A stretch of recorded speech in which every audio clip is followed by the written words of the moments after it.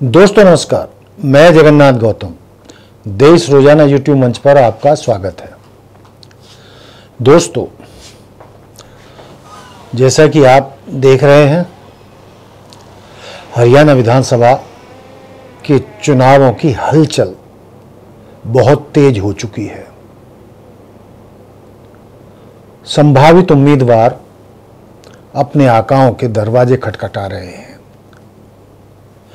लेकिन इसी बीच एक जेजेपी, दुष्यंत चौटाला की ऐसी पार्टी भी है, जिसके सारे विधायक जैसे ही सत्ता गई एक एक करके उनका साथ छोड़ गए। जब तक सत्ता थी तो दसों के दसों विधायक इकट्ठे थे सत्ता का मज़ा लूट रहे थे, आनंद ले रहे थे, सत्ता सुख भोग रहे थे। लेकिन जैसे ही भाजपा ने जजपा को बाहर निकाला सत्ता से एक एक कर सारे विधायक भाग लिए। अब दुष्यंत चौटाला की जो सबसे बड़ी समस्या है, दावा तो वो 90 सीटों का कर रहे हैं, लेकिन उन्हें ढूंढे उम्मीदवार नहीं मिल रहे हैं।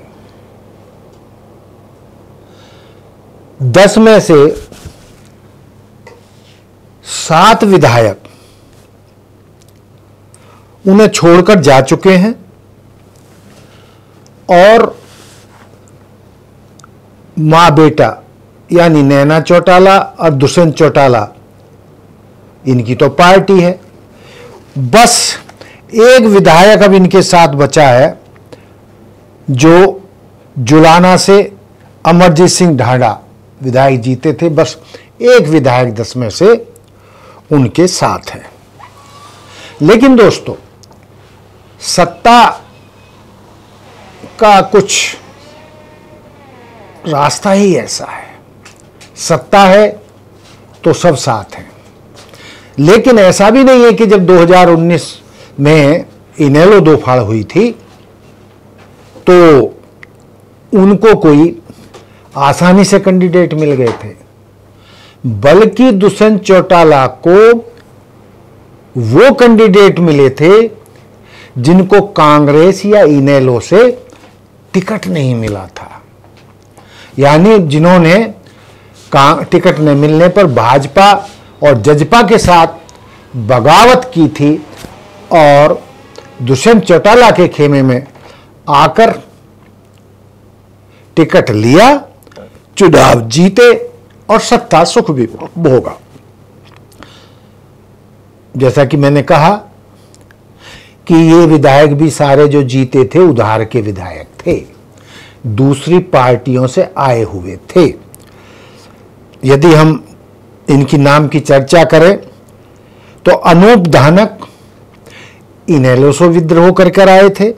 ईश्वर सिंह कांग्रेस से विद्रोह करके आए थे। रामकरण काला भी कांग्रेस को छोड़कर आए थे, जब कांग्रेस ने उन्हें टिकट नहीं दिया था। देवेंद्र बबली भी ऐसे ही थे जिसको कांग्रेस ने टिकट नहीं दिया तो जजपा से चुनाव लड़ लिए। जोगीराम सिहाग भाजपा को छोड़कर आए थे। राम कुमार गौतम भाजपा को छोड़कर आए थे। और राम निवास, सुरजा खेड़ा भी भाजपा को छोड़कर आए आए थे। यानी ये सारे अपनी अपनी पार्टियों के वो विधायक थे जिनको उनकी मूल पार्टियों ने टिकट नहीं दिया था। लेकिन दुष्यंत चौटाला ने उनको टिकट दिया और वो जीत गए। अब दुष्यंत चौटाला के सामने जजपा का अस्तित्व बचाने का सवाल है। किस तरीके से साढ़े चार साल सबने मिलकर सुख भोगा, सत्ता सुख भोगा। दुष्यंत चौटाला डिप्टी सीएम रहे।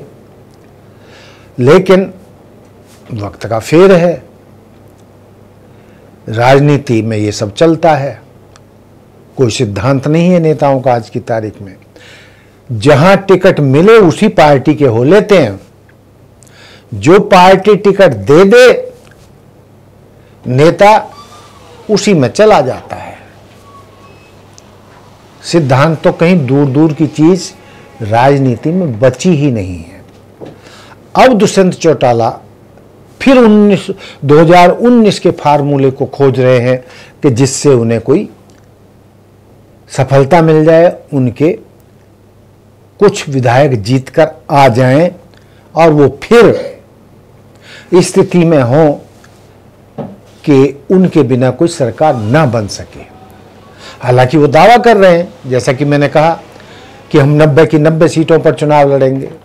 लेकिन जो सूत्र बता रहे हैं कि वो कुछ ही सीटों पर ध्यान देंगे, जहाँ जीतने की संभावना हो हो हो हो सकती है। हो सकता है कि भाई नब्बे में से आधे पर भी ये ध्यान ना दे पाए, जहाँ इन्हें संभावना दिखती है। लेकिन सबसे पहला तो जो सवाल है कि उन्हें कैंडिडेट नहीं मिल रहे खड़े करने के लिए जो अपने थे वो छोड़कर चले गए।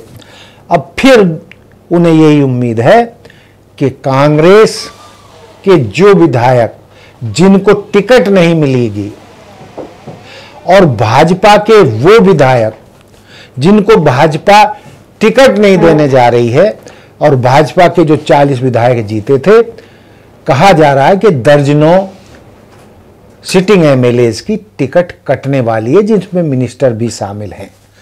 तो सबसे बड़ी आस, आशा, उम्मीद दुष्यंत चौटाला के लिए जेजेपी के लिए, बस ये बागी विधायक ही हो सकते हैं, जिनको कांग्रेस टिकट नहीं देगी, जिनको भाजपा टिकट नहीं देगी? या ऐसा भी हो सकता है कि जिनको अभय चौटाला टिकट ना दें, वो चुनाव लड़ने के लिए मजबूरी में फिर दुष्यंत चौटाला का जे जेपी जे जे जेजेपी का दामन थाम लें। तो दोस्तों, जो सत्ता में पार्टी रही आज, उसकी ये हालत हो चुकी है। जो जानकार है, जो चर्चा है, उस चर्चा के अनुसार तो जजपा के हालात बहुत अच्छे नहीं हैं। अच्छे होते तो अपने ही क्यों छोड़कर जाते? लेकिन दुष्यंत चौटाला एक राजनीतिक परिवार से है, चौधरी ओम प्रकाश चौटाला के पोते हैं। राजनीति उनकी रग रग में भरी हुई है। तो उन्हों, उन्होंने राजनीति तो करनी है। अब देखने की ये बात है कि जब एक अक्टूबर को चुनाव परिणाम निकलेंगे तो जजपा की स्थिति 2019 से बेहतर होगी या 2019 जैसी होगी, या फिर बहुत नीचे जजपा पहुँच जाएगी जैसी की संभावना है। तो दोस्तों, ये था हमारा जजपा के बारे में आकलन। वहाँ जहाँ भाजपा और सबसे ज़्यादा कांग्रेस में टिकटों के लिए मारामारी हो रही है। एक एक सीट के लिए दर्जनों नेताओं ने नामांकन भरा हुआ है, आवेदन दिया हुआ है। वहीं जजपा को या दुष्यंत चौटाला को उम्मीदवार खोजने में पसीना आ रहा है। तो दोस्तों, देखते रहिए देश रोज़ाना। मिलते हैं हम कल फिर नए एपिसोड में नए मुद्दे के साथ हमारे साथ जुड़े रहने के लिए सब्सक्राइब करें देश रोज़ाना के YouTube चैनल को और नई वीडियो की नोटिफिकेशन पाने के लिए बेल आइकन ज़रूर दबाएँ। अगर आप ये वीडियो Facebook या Instagram पर देख रहे हैं तो पेज को लाइक और फॉलो ज़रूर करें और ज़्यादा से ज़्यादा शेयर करें